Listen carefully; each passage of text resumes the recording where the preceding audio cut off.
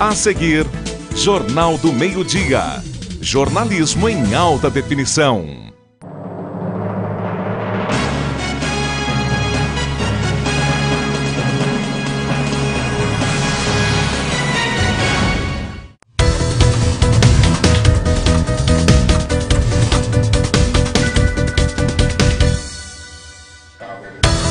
Vamos aos destaques deste sábado do Jornal do Meio-Dia.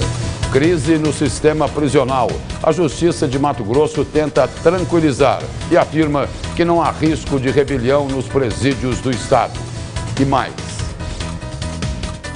A lei que propõe a contratação de um auxiliar de bordo dentro dos ônibus já causou reação por parte das empresas de transporte público da capital.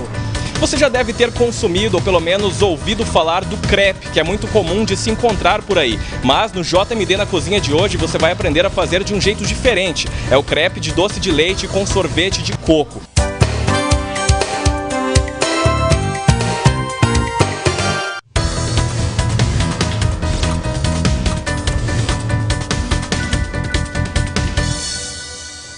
Bom dia. A crise no sistema penitenciário fez com que entidades de todo o Brasil se pronunciassem para tentar acalmar a sociedade.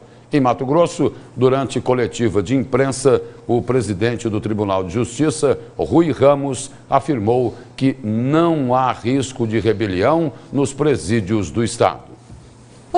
E esse foi o Jornal do Meio-Dia, que volta na próxima segunda-feira ao meio-dia e 20. Agora são 11 horas e 57 minutos. Tenha uma boa tarde e um ótimo final de semana. E fique agora com o Revista Sertaneja.